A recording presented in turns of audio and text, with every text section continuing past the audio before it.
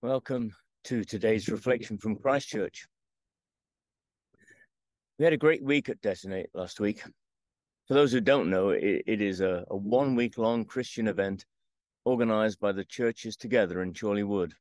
Anyway, last week we had 300 plus children, many of them unchurched, and as Tom Apple likes to put it, in the category of not yet Christians.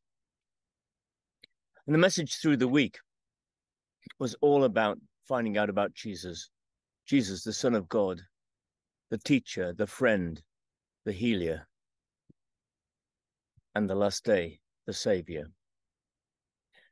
Preparing and then leading the teaching program for the small groups was both exhausting and very rewarding, not least because some of the questions that the children asked were very hard to prepare for.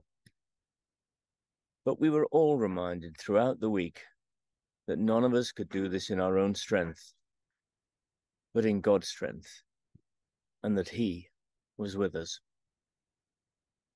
And as I was thinking about that, a couple of verses came to mind. Proverbs 3, verse 5. Trust in the Lord with all your heart, and do not lean on your own understanding. And Zechariah 4, verse 6. Then he said to me, This is the word of the Lord to Zerubbabel, not by might, nor by power, but by my spirit, says the Lord of hosts. They're good reminders because I think that too often we do try to do things to fix things in our own strength. And there's a careful line to walk. God has given each one of us gifts, and like the parable of the talents, we're to use those gifts wisely for his purpose. But we mustn't start putting our trust in the gifts and abilities we've been given because our trust needs to be put in the one who gave them to us. One of the tragedies in Christian ministry is seeing the burnout of fantastic believers who try to cope with an ever increasing load on their own who don't check in with God, what they're supposed to be dealing with, who don't ask for help from Him in plenty of time. It's also devastating when we see great leaders start to act as though they're infallible, when the only one who never makes mistakes is God. Which then brought me to thinking about humility. Humility as we consider the gifts that we've been given humility in leadership. Depending on your translation, Galatians lists, lists humility as one of the fruits of the Spirit. The ESV in Galatians 5 does it slightly differently. It says, But the fruit of the Spirit is love, joy, peace, patience, kindness, goodness, faithfulness, gentleness, self control. Against such things there is no law and those who belong to Christ Jesus have crucified the flesh with its passions and desires. If we live by the Spirit, let us also walk by the Spirit. Let us not become conceited, provoking one another, envying one another. Those last words. Let us not become conceited. Let us not provoke one another or envy one another. Let's all just rejoice in the fact that we all serve the same Lord we all have the same objective, the same mission to share the good news of Jesus Christ. That's what Detonate is all about. It's what Real Summer is all about. It's what each day of our lives is all about. But doing it in God's strength, not our own, with the words that He will give us. One of the things to remember also is that it's our role is not to drag people into God's kingdom.